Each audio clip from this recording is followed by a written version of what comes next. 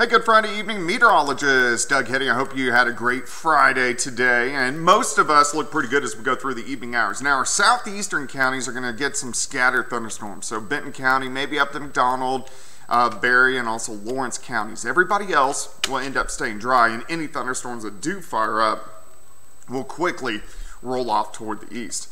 All right, so by morning, temperatures near 40. Let's go to about the noon hour. We're going to be into the upper 40s. A little bit cooler tomorrow.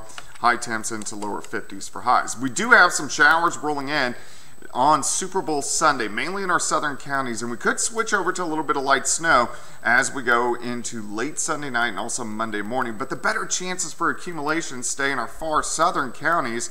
Uh, I really think, as of right now, any accumulating snow is mainly going to be along and south of the Interstate 44. But of course, something we'll keep our eyes on as we go through the next couple days. 51 tomorrow, high of 46 on